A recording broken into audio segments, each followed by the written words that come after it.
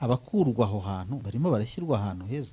Umuntu acyafite ikibazo wowe meya n'abakungirije exercise umujyi wa kigali uri gukora niyo kugira amaraporo meza.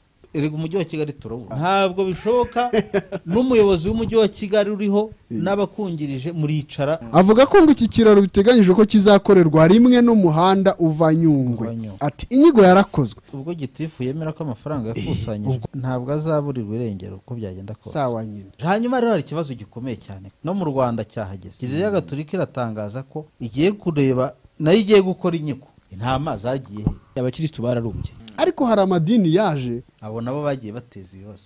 Umuntu akajya hariya ati sinywa inzoga ariko ukaza gusanga yihugikanya agakumi amabere rwose. Wamugeraho ati narimo mukuramo amadayimoni. Urimo urayinjizamo ahubwo wowe. Yigeze guhamagara bati muzane pasiporo viza viza viza viza viza ndayiguha ukibaza ese uyu muturage akora muri ambasade y'amerika. Akora mu y'ububirigi.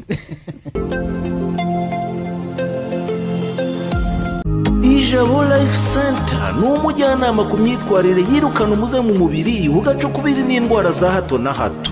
Egera aba bahanga rero bahanga muri iyo mihangayiko ituruka kuri siterese cyangwa imirire mibi. Mu ijabo life center baragukorera reflexology. Ariyo nkanguramyakura detoxification ikura imyanda mu maraso hydrotherapy igabanya ibinure n'umubyibuho ukabije ikanasohora imyanda mu mubiri aromatherapy ihashya indwara zifata imyanya y'ubuhumekero ndetse na massage ivura ibibazo by'umugongo n'andi mavunane.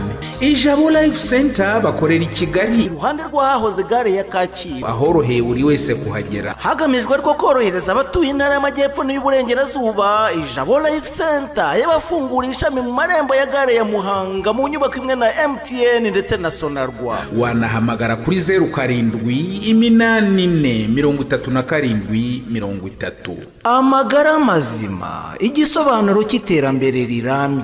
Igitondo cyiza kuri mwese mudukurikiye kuri mama gasabo tv Eh, ikaze mu kiganiro twibature namwe mureba amakuru y'abagabo batatu bicaye ahangaha hongeyemo undi muntu we none hazanye amakuru akaze cyane.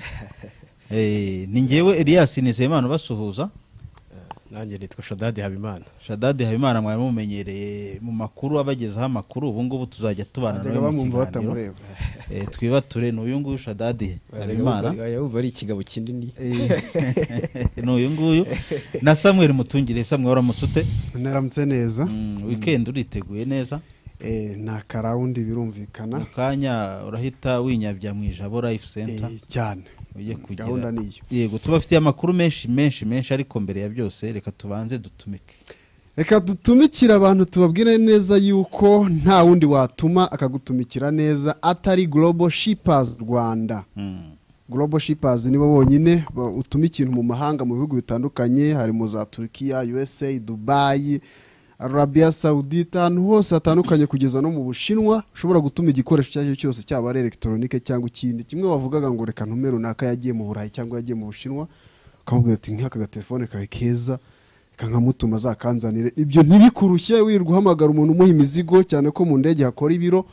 Tuma global shippers wanyura ku mbuga za alibaba kijiji ebay i- zi- zose zishoboka za zindi bahahiraho kuri interineti nyurayo bo barakuzanira ibintu byawe nibabigeza mu rwanda uraba wabahaye mirongo itanu ku ijana hanyuma numara kubona ko ikintu ufite mu ntoki ari Ari cyo washakaga ubahe mirongo itanu ku ijana asigaye nta bandi ni global shippers rwanda. Wabasanga kandi igihe ushaka kuvuga uti bakora kuri iyo telefone bafite iyo telefone ni zeru karindwi umunani mirongo ine na gatandatu mirongo itanu na rimwe mirongo irindwi na kane zeru. Global shippers rwanda. Intumwa idatenguha. Yego. Intumwa idatenguha. Reka rero duhite twanzika tudatinze. Ko ni abanyamakuru aharira? Reka duhere ariko, hari n'amakuru dufite tu- turi gutohoza turebe niba kuko ari na yo. Yego. Mm, turi buyabwire abantu mu kanya. Aracyari mu itohoza se cyangwa itohoza turacyari kumenya niba koko ariyo neza. Yego. Mm. reka duhere i gakenke. Ku munsi w'ejo twababwiraga ko hari umugabo waheze mu kirombe. Yego. Cyaramugwiriye inkuru nziza rero turamukanye nuko Mm. uwo mugabo ku munsi w'ejo yakuwe nyuma y'iminsi ibiri nyuma shadadi nadusomera iyo nkuru twumve. None niyo usanzwe Ni- usoma amakuru inkuru- reka ni inkuru twumve. ni inkuru iri ku gihe. Inkuru iri ku gihe. Mm. Eh, ifite umutwe ugira uti gakenke umuturage yakuwe mu kirombe ku munsi wa kabiri kimugwiriye. Eh, harimo iri muri paranteze bati yavuguruwe.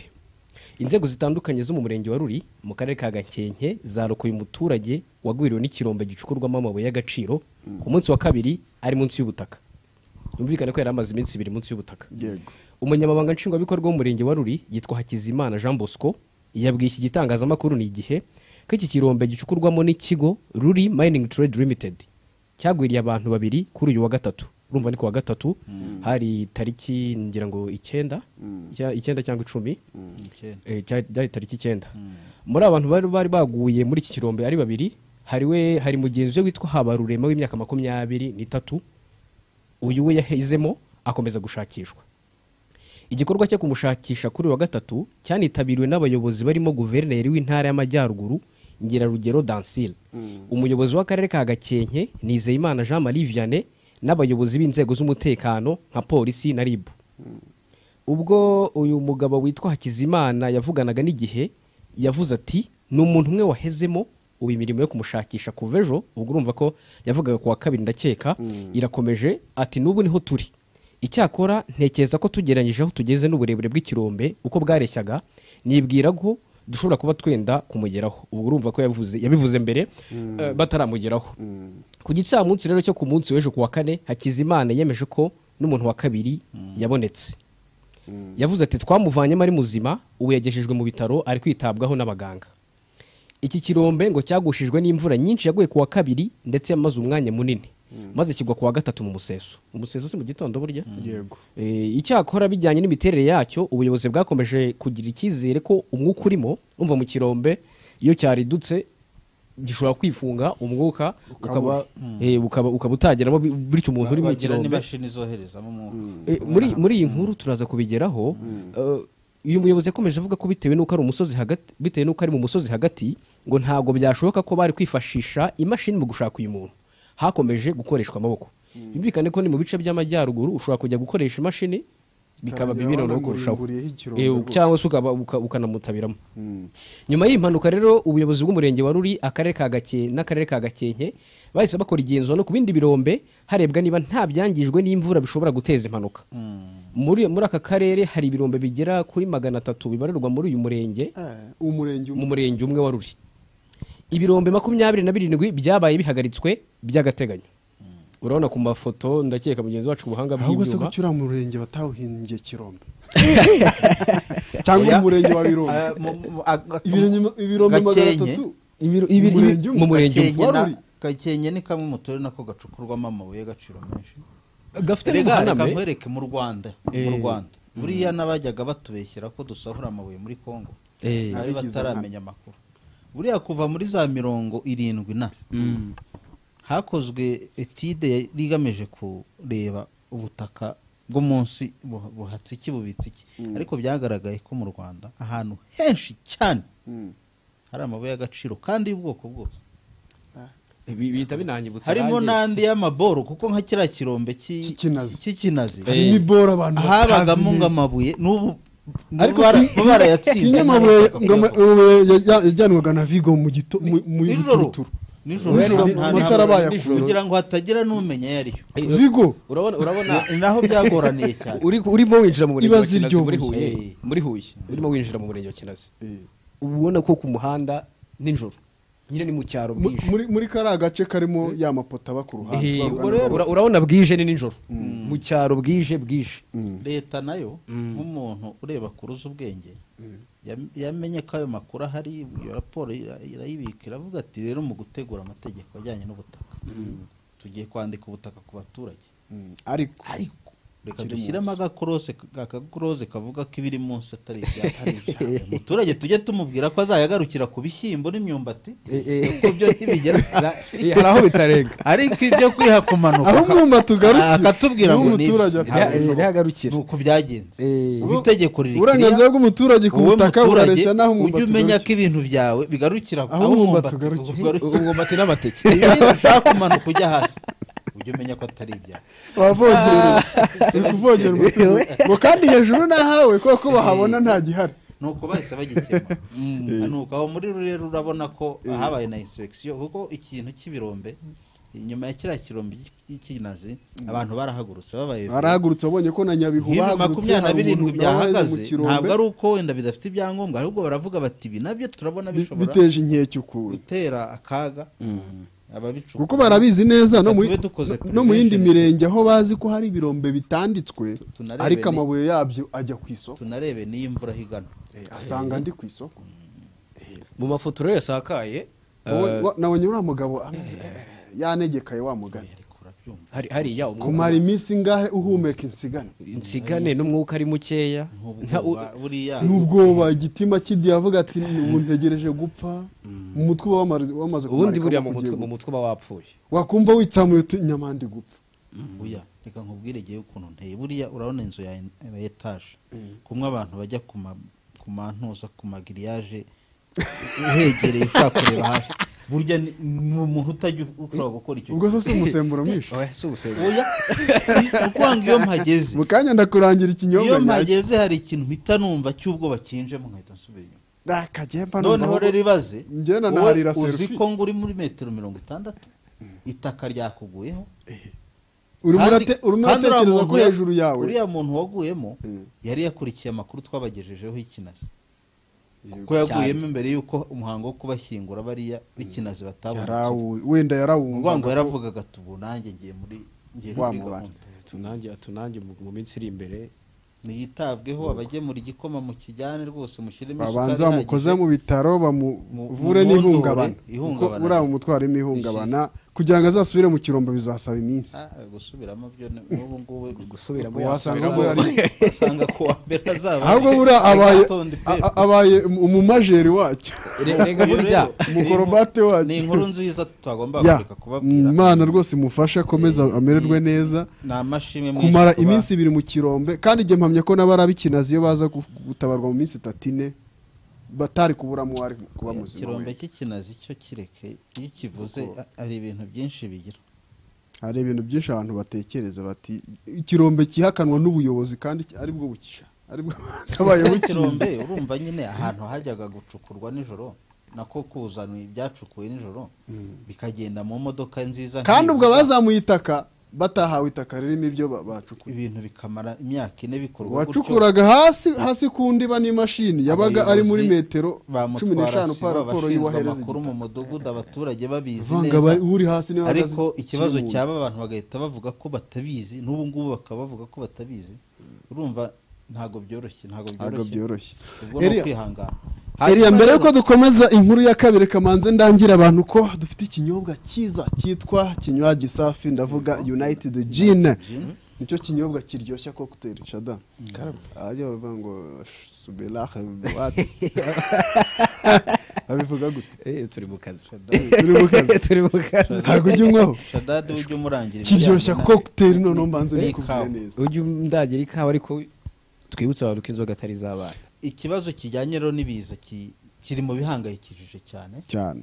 Eh, umujyi wa kigali uri mu bafashe iya mbere. Ku munsi w'ejo twahoze twibaza tutaba abantu. Barimo bimurwa bakurwa aho bari batuye kubera ko hagaragaye ko ari mu manegeka hashobora gushyira ubuzima bwabo mu kaga. Barajya he? Eh, ese aho bari kujya? Ntibagiye guteza irindi negeka?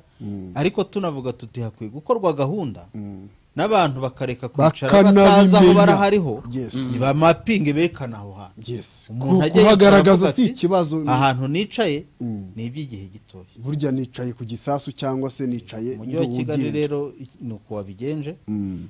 mu igenzura ubuyobozi bwakoze bunakomeje gukora bwasanze hari imiryango ibihumbi bitanu magana inani cumi n'ibiri ituye mu manegeka hakaba harimo ibihumbi bibiri magana atatu mirongo itatu n'ibiri bigaragara ko igomba kuzakodesherezwa amazu. Umuyobozi w'umujyi wa kigali eh, Prudence rubingisa yavuze ko bagikomeje no kureba ahandi abaturage bagituye mu manegeka bakanabakangurira kwimuka kuko batifuza ko hari umuturage wahitanwa n'ibyiza. Yakomeje avuga ko n'ubugenzuzi bukomeje gukorwa kugira ngo harebe ahantu hari ubuhaname bukabije buri ku gipimo cya mirongo itanu ku ijana kugira ngo abahatuye bimurwe kugeza ubu imiryango magana atatu mirongo itandatu n'umwe niyo imaze gusabwa kwimu- kwimurwa kandi ngo ubukangurambaga bukaba eh, bugikomeje. Umuyobozi wungirije w'umujyi wa kigali ushinzwe imiturire n'ibikorwa remezo dogiteri eh, merari mpabwa n'amaguru we avuga ko nibura imiryango ibihumbi makumyabiri na birindwi. Ngo ituye ahantu hashobora gushyira ubuzima bwayo mu kaga. Hazwi nk'amanegeka. Muri iyo rero imiryango ikaba ituye mu mirenge mirongo itatu n'itanu igize umujyi wa kigali muri buri murenge wasanga ahantu hari abantu batuye ahantu hashobora gushyira ubuzima bwabo mu kaga. Ni na yo mpamvu umujyi wa kigali usaba abaturage ngo kwirinda kumena imyanda muri za ruhurura kuko ngo byangiza ibidukikije bikanagirira ingaruka ku bikorwa remezo na byo bishobora kugira ingaruka ku Ya. ku, ku, ku bijyanye no kwirinda ibiza. Urumva rero hano imiryango yamaze ku- kuboneka. Ibihumbi. Ibihumbi mirongo itatu na birindwi. Iyo miryango niyo ituye ahantu hashobora gushyira ubuzima bwayo mu kaga. Ikibazo sitiri kiga kigaragara. No muri icyo kiganiro babonye ko nta nta gisubizo kirambye. Kuko kugeza ubu ngubu ni cyo kibazo kigihari kwimura umuntu umuvura ahantu habi umushyira heza niyo nziza ariko noneho ikibazo kigihari tukibaza abakurwa aho hantu barimo barashyirwa ahantu heza. Cyangwa se amafaranga bahabwa cyangwa se ubushobozi bafite bwa mikoro urabemerera kujya ahantu heza hadashyira ubuzima bwabo mu kaga. Cyangwa se uramukura mu murenge wa kimisagara ni urugero ajye mu murenge wa gisozi. Cyangwa se umuvane mu murenge wa gisozi ajye mu wa gikondo. Hahandi n'ubundi sitiri habeho yaje yo kuvuga gitifu waha ngewe imiryango nanifite ndayimuye bimvuyeho Eh. ariko uyoherereje undi mu gitifu mugenzi wawe w'umurenge wundi. Icyo gihe ntacyo uba ukoze uwo wundi nawe arahita agira abandi bantu kwikiza inkuru ukazibwika abandi. Aragira umubare wisumbuyeho abo yagombaga nawe gukura mu manegeka hiyongereyeho abandi bavuye. Bi- bimuwe ahandi mu manegeka kuko umujyi wa kigali we urimo urabikora rwose nk'umwana mwiza. Uti, urabizi "Muragiye, kera- icyabayeho ni uko- dufaranga tubafashe.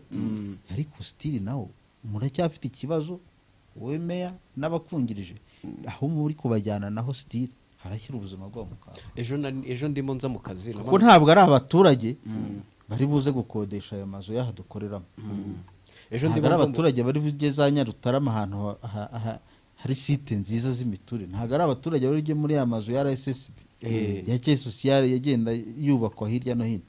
Ni abantu nyine ukuye ahantu ariko n'ubundi ubashubije muri rya negeka Mm, nari ndimo nkubwira ejo- ndimo nza mu kazi namanukanye n'umugabo gutya tumanuka nyabugogo gato. Kuko nanjye ahantu nsa nk'utuye urumva ni hejuru. Manegeka ntabwo ntuye mu manegeka ariko ni hejuru. Umugabo arambwira ati utangiye iki kiganiro. Abantu bagomba kujya bakubona buri munsi. Nawe ugiye nakubwira. nibakubona mutahana mu manegeka. Ntabwo ntabwo nta mu manegeka. Bazavuga ati umunyamakuru wa sikofi ari mu manegeka. Ndimo ndababwira neza Aha- aha- ahantu ntuye ni ahantu hatashye ubuzima bwanjye mu kaga. Umugabo arambwira ati se uzare mu kiyovu. Ati naho harahanamye. Mu kiyovu cy'abakire. Cy'abakire. Icy'abakire icy'abakire nta kigihari.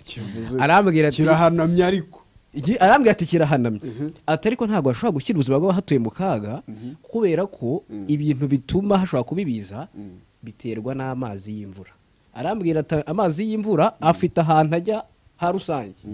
Ati ariko ayo mazi ya rusange nyine aturuka hejuru muri ruhurura zaho zikoze neza. Akamanuka agahura n'uturuhurura dutoya two he- two hasi. Twaba abakene noneho twaba abakene tugahita twuzuza ahasigaye hose. Eh, akabwira ati leta rero ni cyangwa umujyi wa kigali. Ukemure icyo kibazo. Ni amazi avuye hejuru aza ahure na ruhurura binganya ubushobozi. Aho aho rero twanabivuzeho hano samu ni byo nkubwira nyine. Ubu exercise iriho bari exercise umujyi wa kigali uri gukora. N'abayobozi b'imirenge n'iki niyo kugira amaraporo meza. Ngewe gitifu w'umurenge runaka aba bantu baha ngaha ni abasansibilije ni abahakuye. Ngewe gitifu w'umurenge runaka abantu batuye hano mu myembe ni abahakuye nabajyanye ku kagari. Hari igisare. icyo nzi cyo ariya bazahura ariko mu n'ikibazo. by'ukuri Mm. Ntabwo igisubizo kirambye gihari. Fayini ni byo bari gukora ni ukugira ngo kuko meteo yagaragaje ko hari imvura nyinshi. Ariko ejo noneho nabonye isohora yuko imvura igiye kugabanuka. Ni ukuvuga ngo rero ikizaba cyo bari abantu imvura nigabanuka bazasubira aho batuye.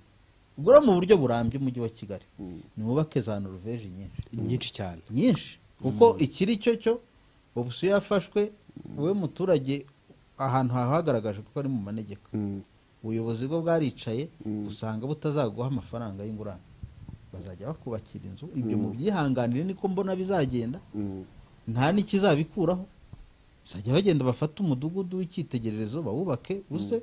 Ibyo kwivugisha ngo wari ufite ibyumba bitanu ngo none baguhaye bibiri oya ibyo ntabwo baguhaye kimwe uzajya ugenda bita kimwe na saro mukiryamemo ni cyo n'ibyanga gisubizo kirambye ariko gukora. ibi ngibi biri gukorwa nonaha Eh. Ntabwo ntabwo wambwira ngo ni ibintu birambye kuko erega umujyi wa kigali ibi- buri muntu azi karitsiye ibi- ashobora kwigondera iyo ariyo. byo Eh, gusohora abantu n'undi afite azi karitsiye ashobora kwigondera iyo ariyo. Mm, ibi byo gusohora abantu ni na byo byari byabaye mbere y'uko za kimicanga zisohorwa bagiye kurema za kangondo. Bagiye kurema ahandi hatandukanye. za hose ukava mu kajagari ujya mu kandi. Ba- ba- basenya kiyovu cy'abakene bagiye kurema kimicanga kimicanga babona na yo biricanze. Hita- bihita bayisenya bijya kurema kangondo. Ubwo kangondo nawe wenda babavanye babajyana i busanza ntabwo bose bagiyeyo. Amafaranga nimufate ibifaranga byinshi. Bubake amapatimenti ama- menshi. Ashoboka kandi akomeye nabwo ariko ari bibazo. affordable. hari na affordable. Eh, icyo cyangwa nibiba ngombwa abaturage babagurire bya bibanza byabo bubakemo iyo apartment bose bahuriye muri ya nzu imwe iteretse ahantu hazima. Icyo ngicyo agateza ikibazo. icyo ngicyo turakirengagiza. makumyabiri. Wowe wabiguha ubundi bara- barajya Bakemuye gukodesha ahandi mu wabonamo n'icupa ry'urwagwa. Icyo icyo abantu barakirengagiza cy'amacumbi ari uga- ukubaka ukubaka estate. Uravuga ati affordable. Ariko ugasanga wajya wajya kureba igiciro cyayo Mm. ugasanga kirahanitse. Yes.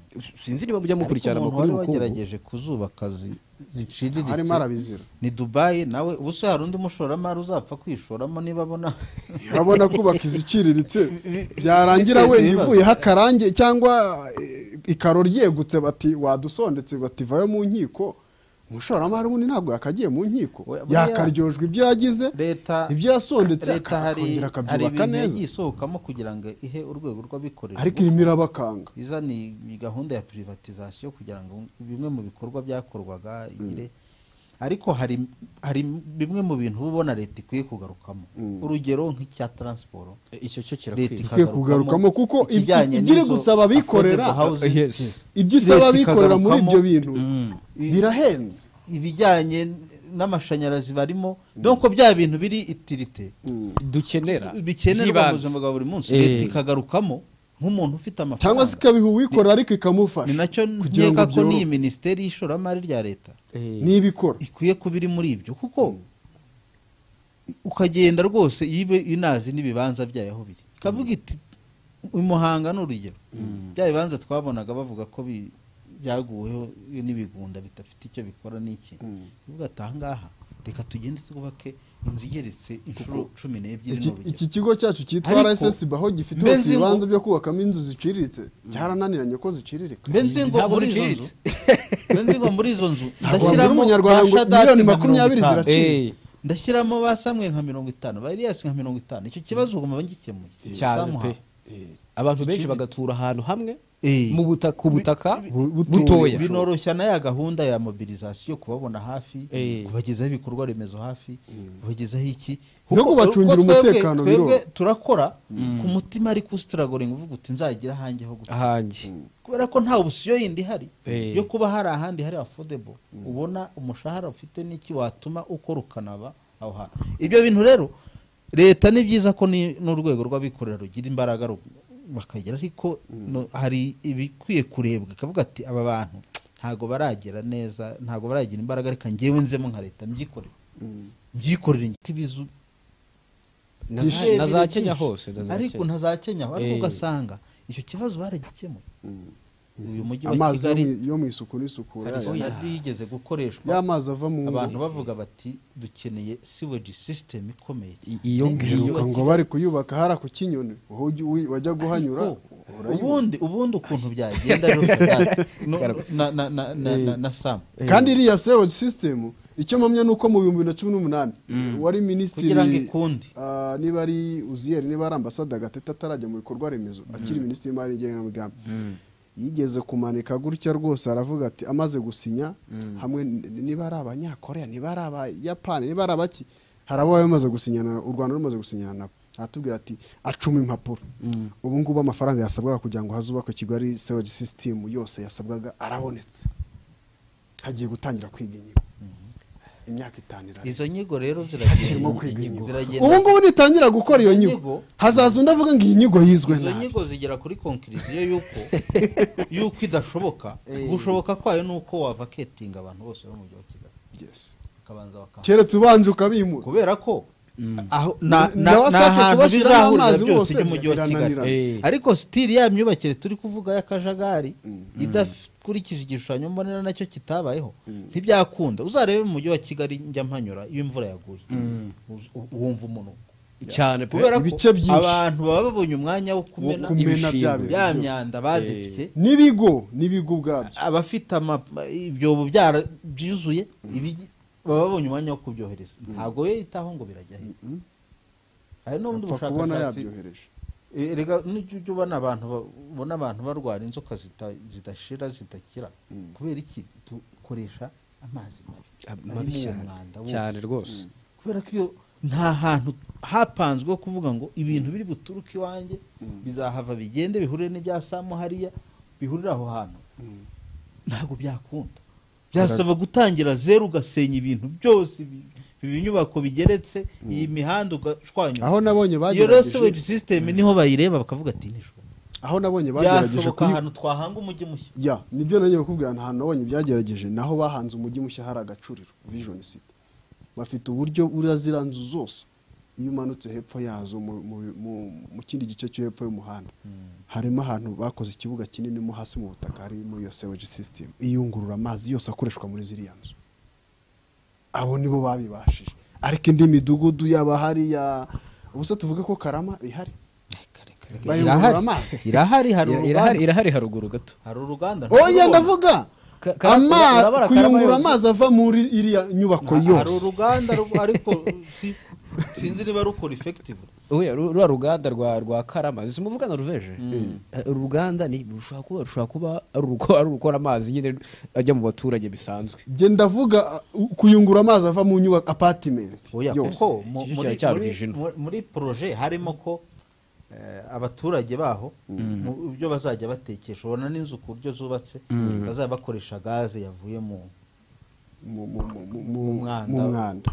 uhaturuka Ni- ni byo byari ayide sinzi rero niba Eliya abashaka kumenya rero utwo duce twose tw'akajagari mm, abashaka kumenya utwo duce tw'akajagari eh, turimo twimurwamo abantu cyangwa se ukavuga uti ubundi twebwe aho dutuye hazimurwa cyangwa ntabwo hari ku rutonde. Ubuyobozi bw'umujyi wa kigali bwatangaje ko kugeza muri mata ibihumbi bibiri na makumyabiri na kane nta muntu uzaba akibarirwa mu batuye mu manegeka mu mirenge ya. Abo mu mirenge mwumve neza. Muhima gitega rwezamenyo na kimisagara. Ngo bizaba binyuze muri gahunda zitandukanye zirimo kuvugurura aho abantu batuye. Reba iyo target ngo mu mwaka umwe rwose. Mm, no, ya- yashoboka da. None se niba ubu ngubu umwaka umva urabakoranya uraba muri amaze ngo babacyuye babajyana hehe? Abandi bo babajyanye hehe? Samu samu. Urabakura amafaranga ukagenda samu urabakura kimisagara urabakura kimisagara ariko ejo urabasanga ni njye nyine ndimo ndababwira uduce abantu batwicayemo bararye bari Ki- kimihurura mu myembe. Eh. ariko uzabasanga batsinda n'urugero uzabasanga gahanga hasi. Uzabasanga hasi ijari cyangwa uruhande rwa nduba.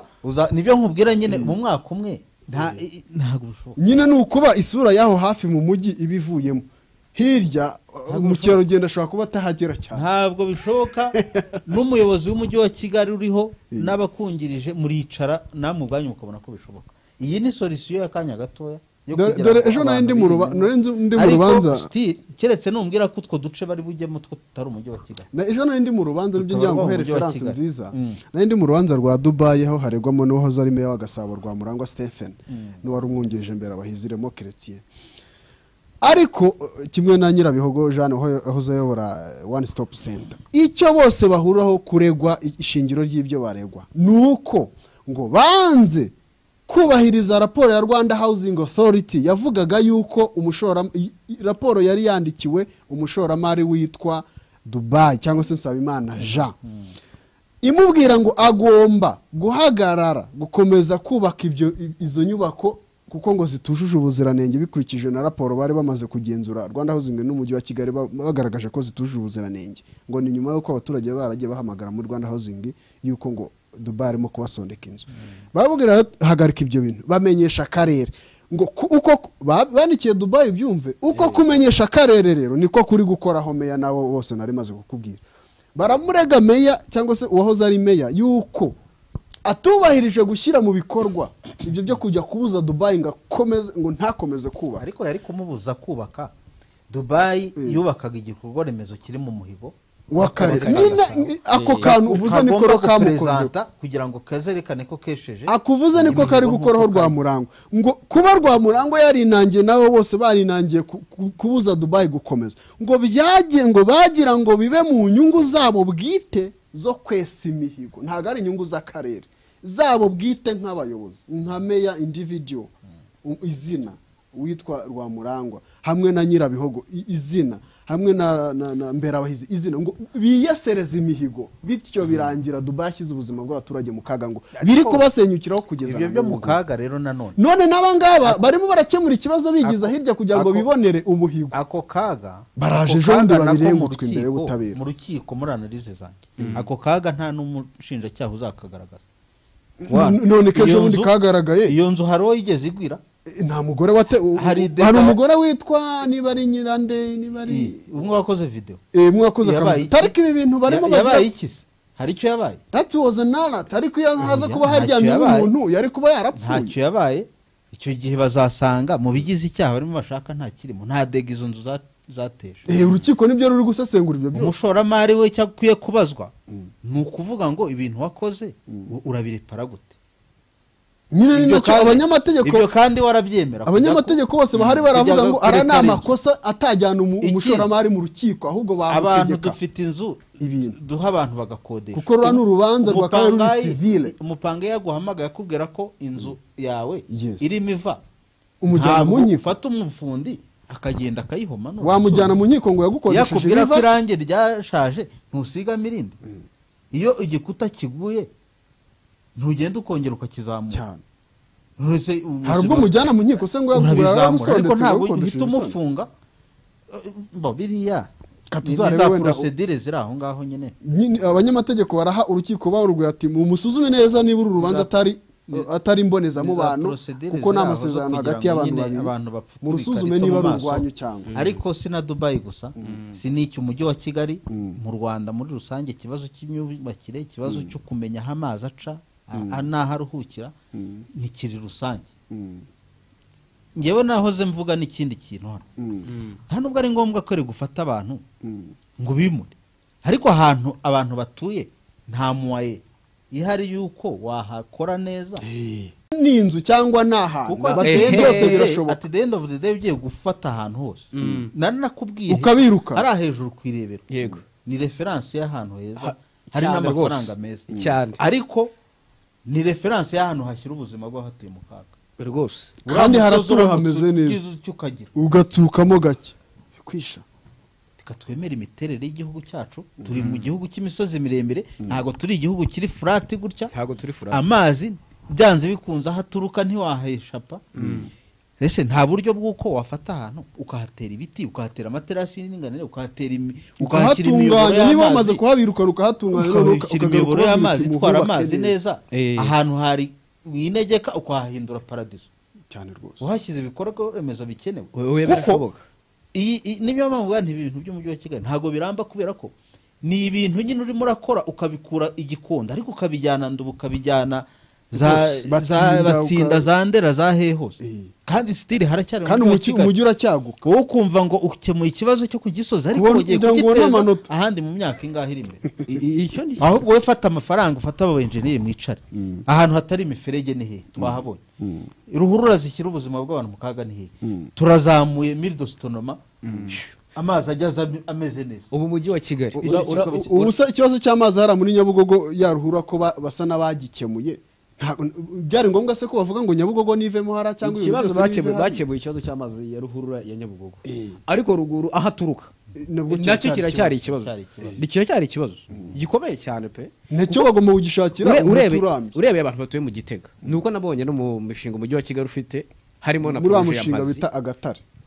Poroje y'agatare yo umujyi wa kigali wamaze kuvuga ko hariya hatagishyira ubuzima bw'abantu mu manegeka mu- kaga. Eh, kubera ko harakozwe. Amarhura yarakozwe utuyira abantu banyuramo turakoze abantu bavuguriye amazu yabo. Yego twarimo tuvuga rero inkuru zijyanye no kwimura abantu cyangwa se kubasaba kuva ahantu hakiri ubuzima bwabo mu kaga. Reka tujye no mu zindi nkuru nanone Eh, mu kinyamakuru mama urwa gasabo naho hari inkuru itabariza abana ya b'abanyafurika nabonye rwose bari abana si ubwa mbere umunyamakuru abasuye akagaragaza eh, ikibazo bafite. Ikibazo kitoroshye. Na- nashyireho amafoto Mm. yerekana inzira nakwita iy'umusaraba abana bacamo bajya ku ishuri na yo iri gushyira ubuzima bwabo mu kaga. Bari abana baramutse ba- bavuye ku ishuri imvura yaguye ifatika nk'imwe y'urubavu. hano se wahanyura imvura yaguye? Shyo! ukaba ari ubwiyahuzi. Uhite Ndabona no- kuhajya ku gihe cy'izuba n'ubwiyahuzi Yego. Ni inkuru igira iti impuruza ku bana biga ku ishuri ribanza rya karambo. Ngira ngo amafoto urayabona abana bari gukambakamba ku kiraro. Biroroshye ko hano hano n'umwana wa garidiyeni yahaca. Nanjye mukuru hano n'umuntu mukuru hano kuhaca ewana urabona ko ntu- Ni hari ukubanza n'ubutaka- gushishoza. n'ibi biti noneho biranyerera ukuntu. Birakuze birashaje. Harimo aho bitari. Utubaho turiho hejuru twaracitse tumwe twavuyemo. Kandi urabona ko ari ahantu harehare bari kwambuka harimo metero zigera mu icumi zirarenga rwose zirarenga.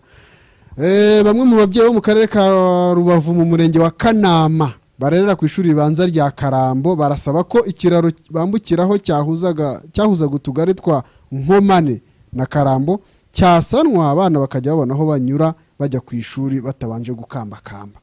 Aba baturage babitangarije umunyamakuru wa mama rwa gasabo ari we jean claude ndayambaje ubwo yageraga aho hantu hari icyo kiraro baga- bagasaba ko cyasanwa vuba bakajya ba- byorohereza abana kwambuka bagiye ku ishuri kubera ko bafite impungenge ko kizabaridukana bakahasiga ubuzima. Eh, mu baganira n'umunyamakuru harimo uwitwa ishimwe eric yagize ati abana bacu bagorwa no kujya ku ishuri rwose. Iki kiraro gikomeje kudutera impungenge. Reba muri iki gihe kibiza uburyo inkangu ziridukana abantu. Nk'ubu aba bana barimo gukambakamba kiriya ki- kiriya gikingo kibagwiriye bahasiga ubuzima. Urabona indi foto ikurikira n'aho abana bava mu gasantere bamanuka bajya muri cya kintu cy'intuze eh, eh, eh, kari kirekire kintu. Ni kirekire. Reba reba uyu wambaye agapira kintu ka orange bamanukamo reba ahantu wa oranje ageze reba bari abo hejuru aho ni ngo nta bantu babiri bamanukira icyarimwe. Hano hantu harananyerera habanza kunyura umwe kandi ku ruhande hari imanga iteye ubwoba. Ushobora guhita umanuka neza. reba ukagwamo kariya kana kambaye kambaye umupira w'icyatsi. Mm. urabona ko ahantu kari hari umanutse gatoya wihuta undi atamanutse ngo ave mu nzira ni uguhita umukubita mukamanuka Cyane mwese mukirundamo hariya hasi. Eh. undi muturage nawe yagize ati bimaze igihe kirekire ariko duhangayikishijwe n'abana bashobora kuzahavunikira. Ndetse hari n'ababanza kujya kuzenguruka hirya kure mu mugezi akaba yabatwara igihe imvura yaguye nyine ngo turasaba ko basana iki kiraro bikorohereza abana bacu. Ah, iyi nkuru rosamu eh. ni ubugira kabiri. Noneho ikibabaje cy'abaturage yanditswe. Nibyo nagiye kugeraho Mm. aba baturage bararebye baravuga ati twahereye kera dutaka. Reka tubanze akimuhana kaza imvura ihise. Ariko bya bindi abanyarwanda dushishikarizwa kwishakamo ibisubizo. Bya bindi by'uko intore itaganya uri ishaka ibisubizo abaturage twishakamo Barabitekereje. ibisubizo Mm. dukusanya miliyoni ebyiri. Miliyoni ebyiri ni amafaranga. Mu cyaro kimeze gutya? Menshi mu cyaro. Eh, Aba- abantu baba bikoze. Ubu uvuga ngo ny- uwo muntu mu rugo ushobora gusanga yikuye ibihumbi bitanu cyangwa yikuye ibihumbi kuba icumi. ayo mafaranga kwishana n'ubu ngubu ntibaramenya. Ntibazi ngo uwakusanyije yakusanyirizaga mu gifu cye yakusanyirizaga mu uretse- bari guhiga ikusanyirizo mbese. Uretse uretse rero n'aba bana bajya ku mashuri n'aba bantu baturiye hano. Oya Nabo bari- mu Bose kaga. bose bari mu kaga. iriya nzira iri ruguru yo urabona ko urega buriya uko ahantu hahanamye gutyo ubu uriya uko imvura igwa imvura yo buriya nta nta nagiye ngo nta dini igira umunyamakuru ngo yagerageje gushaka umunyamakuru yashatse meya aramubura ashaka n'abandi batandukanye mu biro bya meya ba- arababura.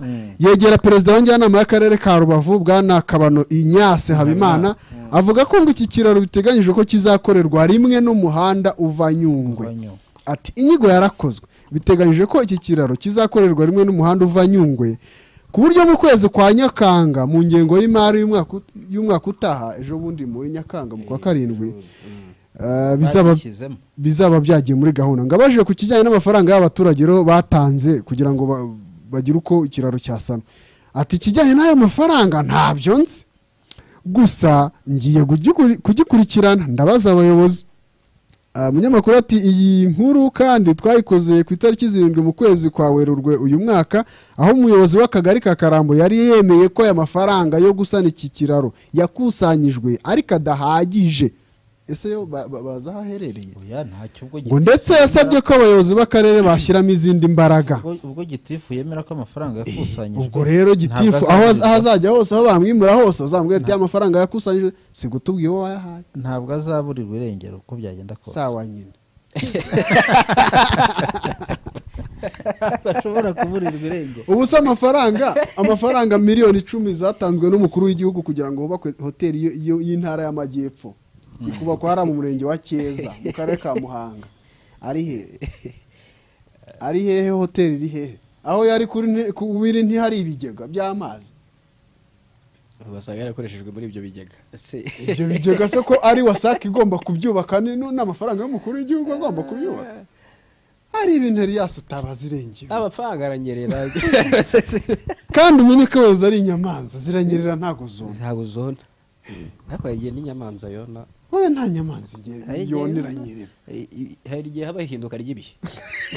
Inyamanza zigahora ari zo zigabiza imirimo y'abaturage. ubwo urumva rero umuyobozi wa njyanama ubwo azi ikibazo. Nu- n'ufite amafaranga akaba akaba ahari. Wenda twizere ko. Mu kwa karindwi si kera bazabereka ko bazayahereho. byagiye mu ngengo y'imari nibatangira kubishyira mu bikorwa uwo muhanda wubakwa bajye kubona babone n'ikiraro nubwo umunyamakuru wangere we yashyize ku banyeshuri ariko n'ubundi ariko abanyeshuri n'abaturage barahakoresha ariko ababangamiye Eh, cyane ni abana bahanyura buri saa sita mu imagine ariko umwana akoze fopa agata akanyerera imvura Naho yaguye akahamanuka azi ngo amazi aracyari yayandi agasanga naho harashyira ubuzima bwabo mu kaga pe. Eh, yego. Mureka tujye ku nkuru ijyanye n'imyemerere cyane ko iyo tugiye kwinjira muri wikendi eh, abasilamu uyu munsi bara hari umuntu mu gitondo wampamagaye Mm. arabwira nti karame gatatu. Ati se bishatse kuvuga iki? Arabwira nti nitabiye abasilamu turi bujye mu ijuma mu kanya. Eh, nkitabira mu n'abadivantisiti ejo mu abadivantisite mu isabato. kanya guhera saa kumi n'imwe. Na- n'abandi niba bakirisitu uzi ko bose hari butike ujya gufataho ibintu y'umudive ubwo ugiyeyo kare kuko saa Eh, kumi n'imwe yafunze. Eh, aba ahita ajya mu isabato. Ugiye mu mavuna harya niko bayita? Ni isabato. Amavuna. Abagatulika ku cyumweru n'abangirikani ba samu na deperi bose. Eh, amadini aba yaje. Hanyuma rero hari ikibazo gikomeye cyane ku isi. No mu rwanda cyahageze. Kiliziya gatulika iratangaza ko igiye kureba na yo igiye gukora inyigo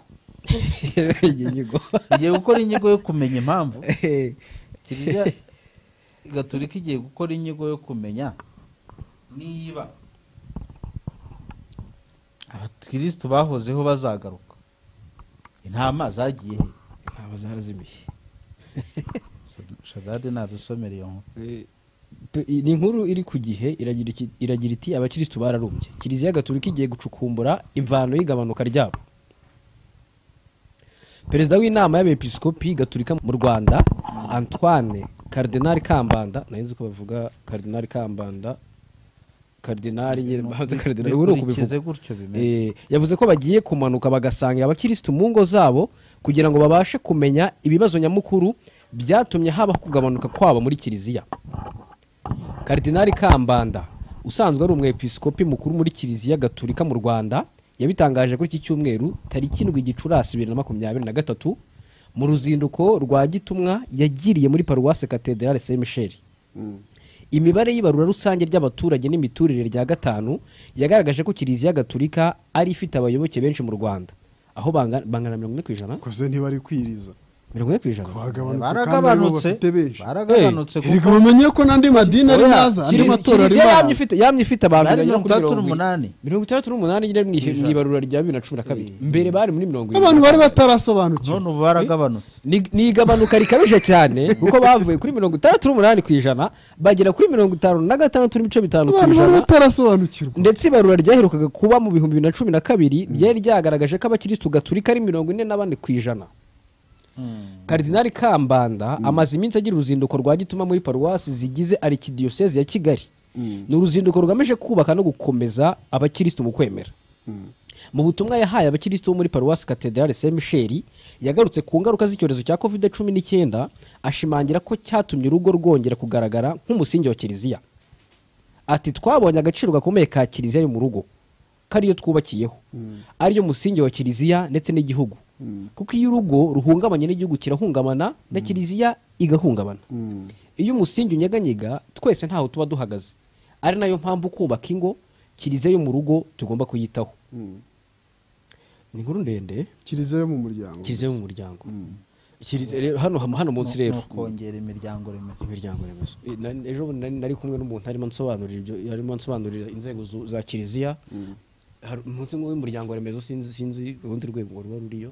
Munsi yawo nta- nta ruhare nta rundi ruriyo kuko natwe mu baporotesitanti tugira gutyo nk'icyo wakita umuryango remezo. Eh, twe mu basilamu biba biri hejuru. Mm, bihera kwa Eh, shehe. Ariko nizeye ko bidaherayo. Ntabwo bihera Ki- nk'uko byatanzwemo umurongo n'umushumba mukuru wa kiliziya gatolika ku isi papa francis iyogezabutumwa risigaye rikorwa rihere- rihereye mu miryango. Ni ibintu bishimangirwa na karidinali kambanda wavuze ko abapadiri bakwiye kumanuka bagasanga abakirisitu mu ngo zabo akaba ariho babigishiriza ivanjiri ati abapadiri mbasaba gukomeza bakegera nyuma y'umuryango remezo mu rugo. Twihaye gahunda yo kuzasura ingo zacu zigize amaparuwasi. Ni umuhigo uvuga ko uzarangira n'umwaka wa bibiri na makumyabiri na gatanu. Ubwo kiliziya gatolika izaba yizihiza iyo myaka yose imaze ibayeho mu isi. Eh, ni inkuru ndende. Hano na yezu ku musaraba rwose. Urumva uriya karidinale kambanda anashingwa anagirwa karidinale bumwe mu butumwa bamuhaye iyo misiyo na yo irimo Ya. N'iyogezabutumwa cyane cyane rihereye hasi. hasi kuko kiliziya ubundi fondasiyo yayo nyine ni ku mukirisitu ibyo twavuga by'imiryango remezo. Ariko noneho eh, hari n'undi wavuze muri iyi nkuru rumaze iminsi serafe Eh, ariko haracyabaho di? Haracyaba mu rwego rw'umuvunyi mushuti wanjye ko muheruka yari umukozi w'urwego rw'umuvunyi sinzi niba ariho agikora Eh, avuga ko nyine icyorezo cya covid cumi n'icyenda kiri mu byateye iri gabanuka ry'umubare w'abakirisitu ubwo n'ikiliziya gatolika yivugiraga ubwayo. N'abandi ariko n'abandi imibare eh, n'iyo ugiye mu zindi nsengero urabibona. Ubona ko umubare w'abantu bateranira mu kiliziya cyangwa se mu nsengero ugenda ugabanuka. Kubera ko icya mbere hari eh, covid iza hari amateraniro yatangiye kujya abera ku ngo. Mu ngo mu ngo hari igihe bitashobokaga. Ahubwo amateraniro yimukiye no ku ikoranabuhanga. Eh, ubu hari abantu basigaye bakubwira ati genda terana ku cyumweru ariko nterana online. Ati n'ubundi bibera mu nsengero ndabizi. Nterana online. Itatu cumi n'itanu. Ibyo byose byari muri gahunda yo kugenda borohereza. ba- borohereza no kugarura abantu. Kuko abantu uko isi igenda itera imbere Bararushaho guhuga. mu- muri kamere umuntu arahuga. Kugira ngo uzabone umuntu mwicarana amasaha amasaha angahe umusomera ibintu ngo byo mu befeso na- telefone zimusonana ngo kutabanguka. by'iyimikamisiri niba ari iy'imukamisiri ni- ejo bundi hari umuntu wakoze amusore abemera mu mbabarire ejo bundi hari umuntu tuba tuvuga realite nk'abanyamakuru y'ibintu biri aho ngaho ejo bundi hari umuntu bahita kuri ati, wakoze aka- "Kiriya kigabo ni akegeranyo ni ibintu abantu baba bavuga hanze aha ngaha ibyo bintu ukabimudodera kuva saa mbiri kugera saa sita ubirambirwa. bimutse kandi akavuga ati nubwo uyu munsi mbyumvise ariko ejo sinzagaruka ubwo hagiye habaho izo gahunda nyine zo kugenda abantu bagabanya Mm. bagabanya ikindi kiliziya yari ukuntu mu myigishirize yayo twari gutya. Ubyemeye ibintu gutya. biri karume bigiye buhoro biri ku mbese yari nka bya- yari nka ya myitwarire ya francophonie. Ariko wabonye ko cyangwa education belge. Andi- nk'ibyo naguhaye. Hagiye haza hagiye haza andi madini. Eh, azanemo indi myigishirize mishya. Iri vayiburanti a- abantu umuntu hari abantu bakeneye kumva inkuru nziza mu matwi zirenze izo padiri aza kubabwira mu matwi umuntu akaza reka nze mpe tewa akavidewo akashyireho. Umuntu akajya hariya rwose kuri aritari ati agahamiriza akikubita hirya akikubita hino. babyita Eh. nabo akikunkumura barareba ati uwo rero kugira ngo azakurure abantu Ba- bati- biroroshye bati cyane. Ibyo na byo birakenewe ko twongeramo uburyo bushya. Ntabwo ari ngombwa ko abantu nyine ba bahora muri mezi Bajya mu rimwe bintu bimwe byo- twagiye hano twagiye hariya. ibintu byoroheje biri aho ngaho. biri muri slow motion. Ndaje nkaguhe iyo umuntu akisakuma rwose akikubita hirya akikubita hino. Ibyo- byose ni- uko abantu babaga babona ko abantu baragenda bacika intege hari abantu kandi none wibuke ko baragenda reka ngu- bava reka mu ngo utume gakiza. kuri antoine n'iyindi ngingo bazareba wenda muri kiliziya pe bashobora kuba basengera abantu bagakira. Ariko hari amadini yaje ntabwo nta tuzi. kavidewo k'umuvugabutumwa yitakuma baba ngo hey hey hey. Ntako ngifite ariko iyo umuntu ashaka ibintu kuki bidahita biza kandi nahoze nkareba mu kanya. Umva se ngo utume kuri antoine. Mm. pe muri kiliziya bashobora kuba harimo abafite umwuka na na na wa mupadiri wo muri wo muri rusizi witabye imana ejo bundi yitwa? Obaridi? Yasengeraga abantu bagakira pe. Ariko bazacunge barebe niba impano mufite itarameze nk'ukuntu yakayutsemo ukuntu cyangwa igenda gahoro. Hari abantu hanze basengera abantu bagakira pa pa pa bagakubita mfe kuguha abo rero kugira ngo bazakurure abantu biroroshye ni ikiverusi ari ku ruhimbi nawe abyinirayo ariko ndakabuze umugabo yaregeye ikubita hirya Arikungumura. hino agwa hasi. Arimo avuga agakiza. Eh, uwo abantu rero uwo rero kugira ngo arokirite umuntu umwe wo muri kiliziya gatolika biroroshye. Izo ni uburyo bwagiye bukoreshwa kugira ngo abayoboke bakangurirwe kugenda baza baza. Uko byaragaragara ko abantu bagenda ba- bavamo bavamo bavamo bavamo. Buriya noneho no mu rwanda hari ikindi kintu cyabaye. Eh, jenoside yakorewe abatutsi. Eh, urabizi ko dufite ubuhamya bwinshi bw'u- bw'uko abantu benshi biciwe muri kiliziya kuruta mu zindi tuvuge mu nsengero tuvuge mu nsengero ahantu ba- batekerezaga ko babona refije barahagiye ahubwo uwo basanga aba akaba ari we nabo bagamba. mbifatira ku rugero rwiza rwa kiliziya mubuga muri karongi. Nubwo hari aho zatabaye. Ibyo na byo byagiye bituma abantu batakariza icyizere idini akavuga ati ni gute umuntu twasenganaga mu muryango remezo? Ari we udutanze mu bicanyi ari we uhindukiye akanyica. Abantu bagenda bavamo iyo mibare kuko hari igihe ukwemera kwari hejuru cyane. Cyane. Kuko n'abamisiyoneri baza mu rwanda abanyamateka barabikubwira ko ikintu baje bitwaje ni ijambo ry'imana. Abantu tukayoboka imana n'amazina araforeta ay'abanyarwanda urayumva agarukamo mana mana mana. Mm. habimana nizeye imana. Mm. wenda ukazasanga samweri rimwe nawe bamugize mutungirehe ariko ubwo naho ubwo urumva habaga harimo kubaza imana. Ibyo rero Mm. byatumye abantu batakaza ukwizera. Ubu bigeze mu rwanda? Mu burayi rero? Aha. Icyari hari ibyitwa katedrali hari ibyitwa amaparuwasi hari ibyitwa iki? Ibyo byose henshi. Ibaze nko kwicara muri bazilika. Bazilika cyo kiba ari ikintu fatira ku rugero nk'iriya ya kabgayi. Ukicara muri bazilika ugasanga harimo abantu batanu. umunani. Kandi hari igihe no kubona aho kwicara bitashoboka. Watinze. N'ubu no mu kiliziya zinaha no mu nsengero zinaha uragenda igihe ushakiye ubona aho kwicara. Ariko hari igihe cyabayeho iyo utatondaga kare. Wumvaga misa erega uzarebe eriya generasiyo y'abantu bari baras bo ntabwo navuga ngo barasabitswe abantu bari barumvise neza ibyo gu- ibyo kujya mu by'agakiza cyangwa se mu madini. Bari barimo n'agakiza. barasaza. Uzarebe nibo bano bakecuru bashyirirwaho zino misa zihera saa moya cyangwa saa kumi n'ebyiri. Uzarebe uburyo bitabira iriya misa ya mbere. ukurikiza n'uko hitabirwa misa Oya, zikurikira. Radiyo mariya rwanda for instance rimwe mu maradiyo na yo igira abakunzi benshi. Cyane. Sibyo? igira abakunzi benshi. Uzasanga aho iri kuvuga mu ngo ari mu ngo z'abantu bakuze. Eh, ntabwo uzasanga mu rugo rurimo abakozi cyangwa rurimo abandi bantu? Harimo undi nyine ukora amajesite adasanzwe kuri aritari uhatwika. Eh? Mm, urumva? Mm, Eh, ngo haya kandi. Mm. Eh, ariko yitakuma rwose. Ni ukuvuga ngo bwose ni ubu- ni ni uburyo bwo gukurura ni bemera uburyo bwo gukurura abantu n'amarangamutima y'abantu. iyi si iragenda idusaba umwanya munini w'imibereho umwanya wo guharira imana. Noneho hakabamo n'abantu baje mu madini bigaragara ko ari abayisikoro bafite ikintu cya isikorokeri muri bo abo nabo bagiye bateza ibibazo cyane. Umuntu akavuga ati niba ari uku bigenda niba ari uku bigenda sinzasubirayo niba baba- wayangira ngo ejo bundi umuntu akagenda agahimba ko umuntu ngo yamuvuye indwara ariko bapanze ko iryo turo bari burisangire Eh, cyane rwose. Barangije. Byose byarabaye. Eh, Umuntu umuntu aritora. akagenda akakubeshya ko uri bugurisha umutungo wawe. Wamara kuwugurisha wose uwumuhaye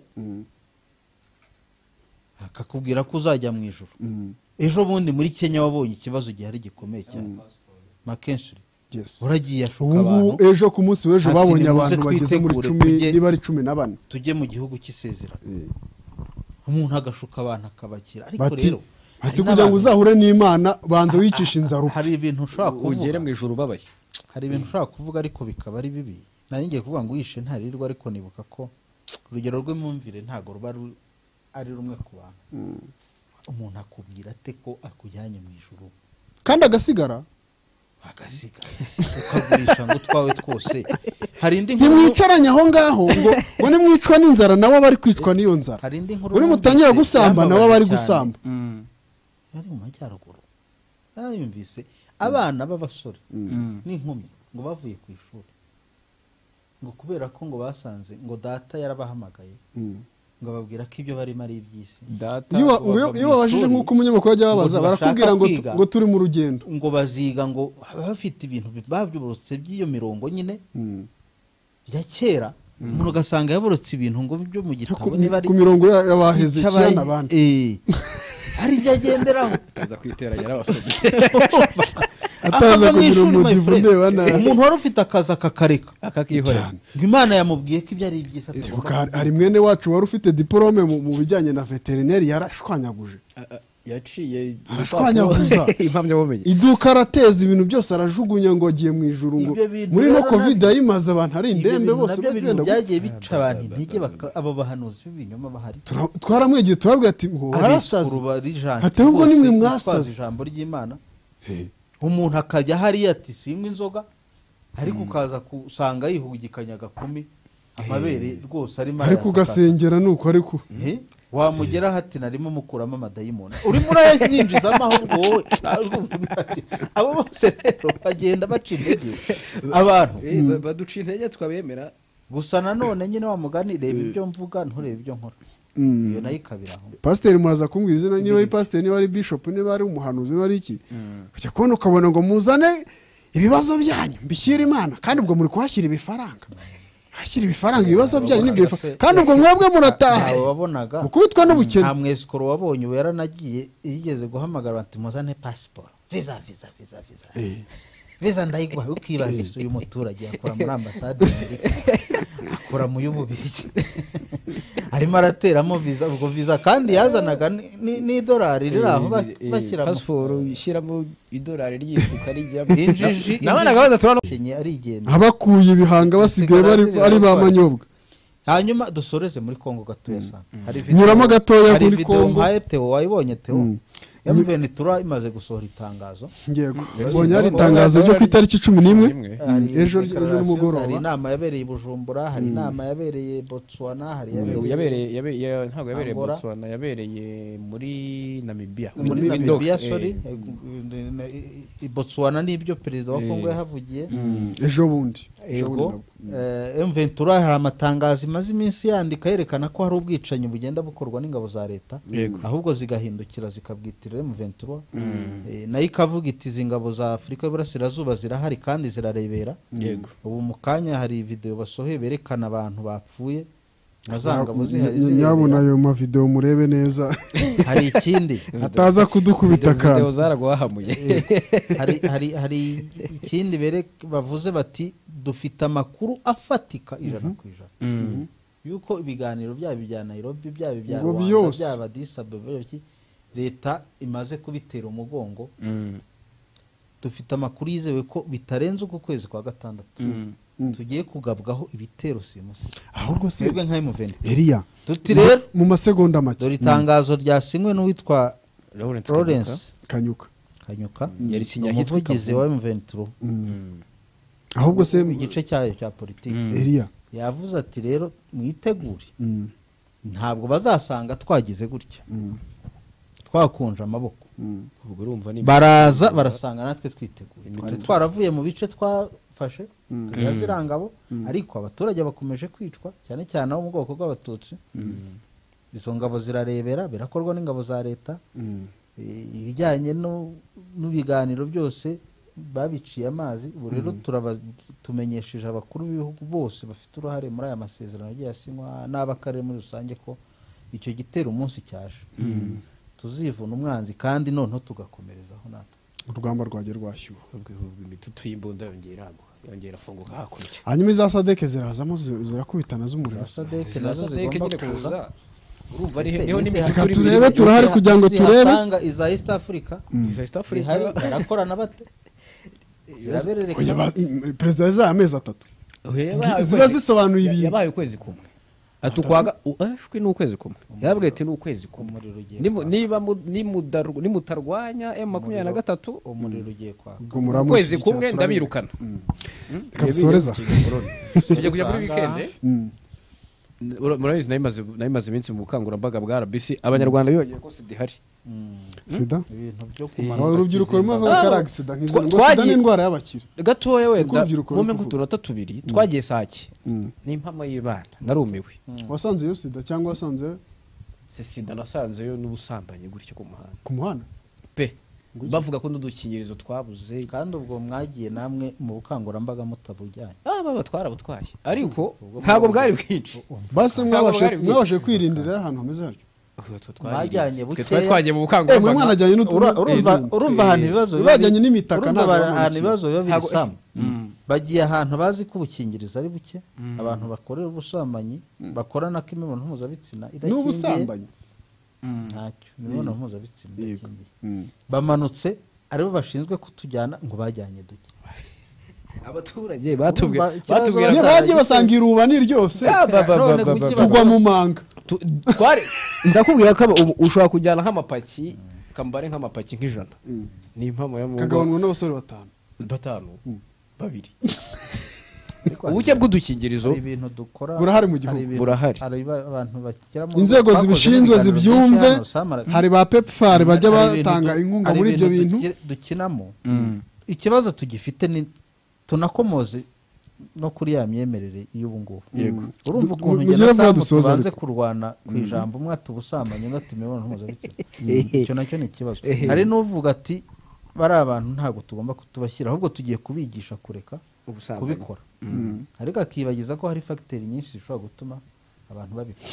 Ya. yewe ndibuka twigeze kujya muri gasabo dusanga mu isantere imwe rekane kwivuga. Abantu bakubwira bati twebwe hano udukingirizo twarabuze kandi turashaka kwirinda. Ubu rero obusiyo purani bi Mm. iyo nagakoresheje Mm. ntabwo nkajugunya. Arakamesa ejo nkazagasubira. Shadade tukamenye tugakoreshe karengera ubuzima. Kandi tugasanga aho ariho hose kabe nka ya moto ivuga ngo everywhere go Ka- kaboneke. everywhere go ukahasange go wivu ntukabure marshe pridama kugira ngo twirinde. Murakoze cyane rero eh, reka dushimire abantu bose twari kumwe abafatanyabikorwa samu yagiye abibutsa united gin ni ikinyobwa benshi cyane. Gisafi twinjiye muri weekend. cyane. Cocktail rwose ntibacike. Abakeneye ibibanza twabwiye KTN abakeneye kugura ibikoresho hari amagazi kukasi akomeye ahantu muri hari electronics iduka ryiza electronic store. Ukeneye telefone nziza wagurira umusheri. Samsung 250. Samsung 250 umufashe hari ijabo life center mu kanya rwose numva nshaka kunyurayo. Ukeneye gutura neza ugane KTN ukeneye kuryama neza ugane Matera Kiran nzira, International. Ukeneye no kwambara neza, Scovia arahari, ejo Scovia mukaganira. azaba ari muri miki Mm, mukaganira ni we uzaba ni we ukora muri weekend ibyo mbibibutse umuntu ushaka Scovia kumureba kuganira nawe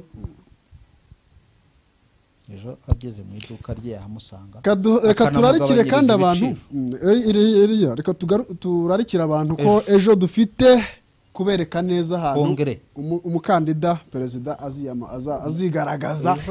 Ejo- muzabe muri live. Hari ishyaka hano mu rwanda rizatangaza umukandida kwamamaza mu matora y'umukuru w'igihugu y'umwaka wa bibiri na makumyabiri na kane. Yes. Uzaba ahanganye n'undi uzaboneka uwo ari we wese mu yandi mashyaka cyangwa se mu yindi mitwe ya politike.